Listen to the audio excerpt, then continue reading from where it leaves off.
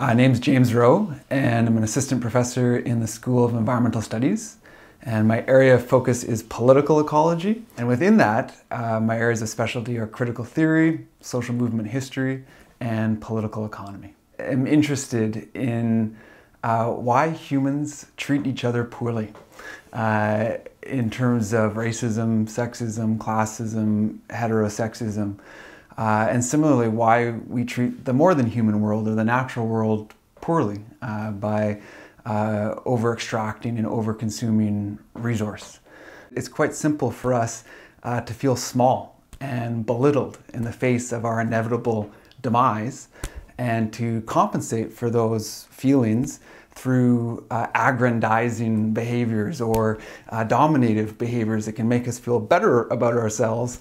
Uh, you know, if this plays as important role in the political process as the research I'm doing suggests, uh, then we need to widen our understanding of politics to include different kinds of practices uh, that can get at some of these root fears that uh, compel some of this behavior and congeal into these larger uh, systems uh, and structures that cause uh, such strife.